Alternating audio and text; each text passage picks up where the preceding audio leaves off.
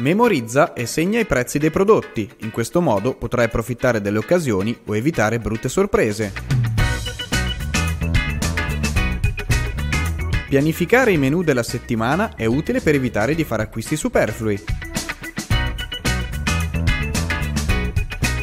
L'ideale è iniziare ad acquistare cibi come frutta o verdura, occupano sempre molto spazio e il carrello si riempirà prima. È opportuno sempre fare attenzione al rapporto tra il prezzo e il peso del prodotto, non è sempre detto che quello che costa meno sia più conveniente. Solitamente sono i prodotti che costano meno rispetto ai marchi più noti, in realtà spesso sono realizzati dalle stesse case produttrici.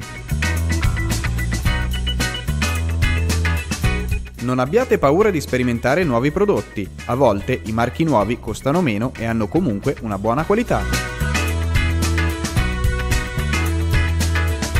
Esistono alcune app utili a raccogliere informazioni e promozioni dei supermercati vicino a te.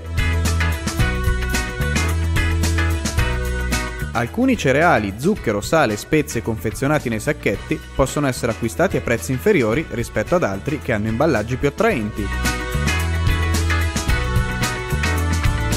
I prodotti più freschi stanno sempre nella parte posteriore dello scaffale.